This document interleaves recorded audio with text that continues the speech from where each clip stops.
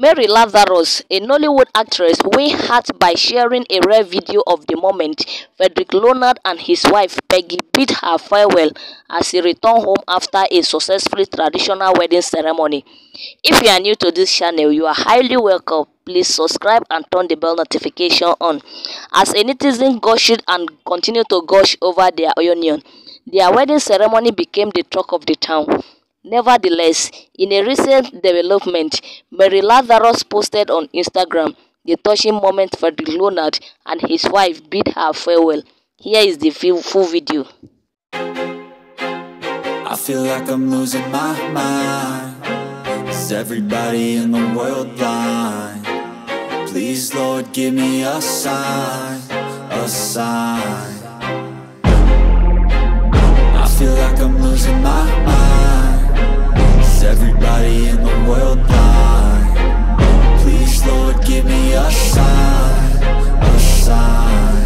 wanna be the greatest. Everybody on the fake shit I look around and feel like everybody is the fakest. I make this every day and I'm impatient Hoping one day I blow up from the basement. Statement, the top is so vacant. I don't hear shit that I think is amazing. Waiting for my day when I'm playing. Sold out shows for a thousand faces Hey, give me that crown. Get in my way and to be put down. It ain't your place, all this my town. If I want that shit then I'll get it right now.